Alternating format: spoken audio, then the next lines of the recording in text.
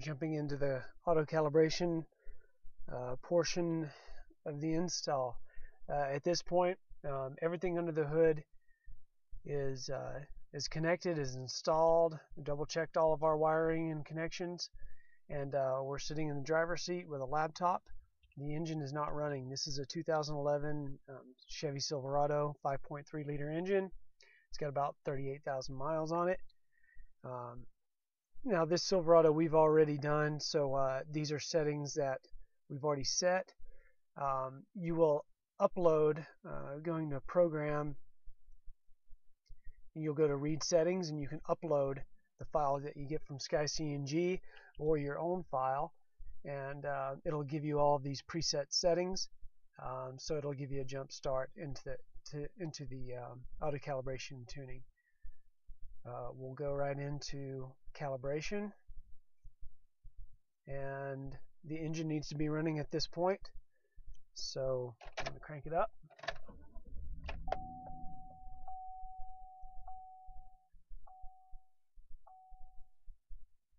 It'll remind you to uh,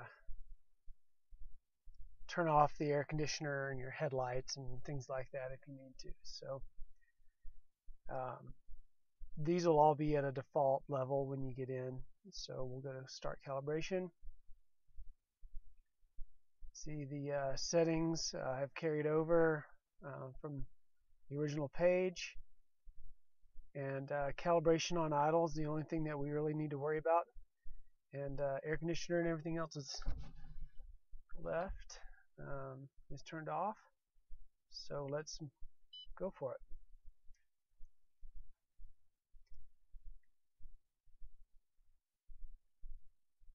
On the left hand side, uh, these are your petrol injectors, um, 1 through 8 for the 8 cylinder, and on the right hand side, these are your gas or CNG injectors and the injection time, and you'll see the engine start to cycle through these.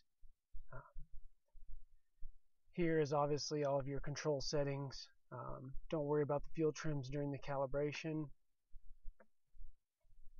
But you can see um, it's switching over to CNG. It can be kind of rough at this point. That's okay.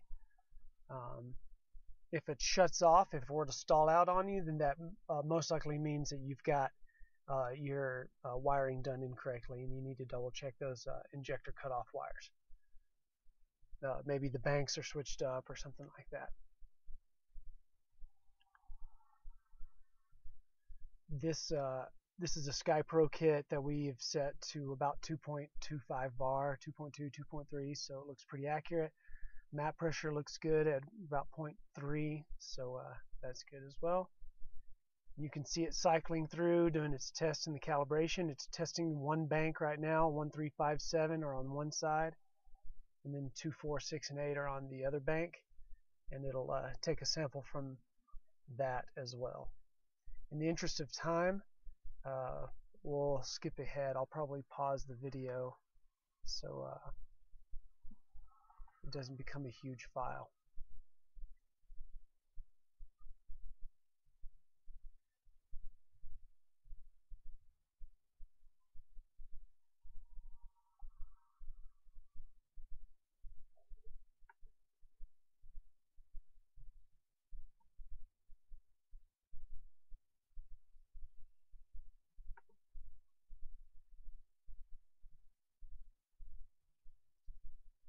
It's not letting me. Gotta love Cam Studio. But the auto calibration is still progressing, so that's okay.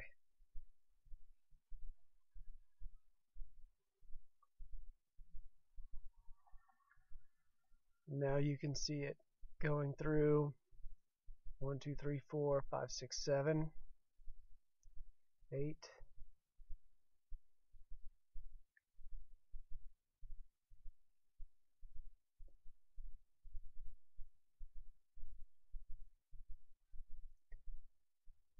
it calibrated the gas pressure, so that's pretty accurate. You know, our um, reducer, we had it programmed around 2.2 bar, um, so that's accurate. I think we're going to end up moving this up to uh, to 2.5 or 3 bar on future models, so um, uh, don't be shocked if you were to see this um, at a different bar pressure.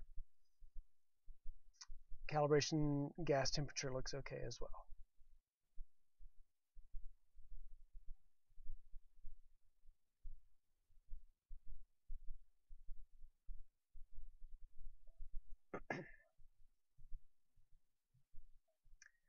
And um, once this is done, all right, now you're ready to move on to mapping and adjust by the slider. Thanks a lot.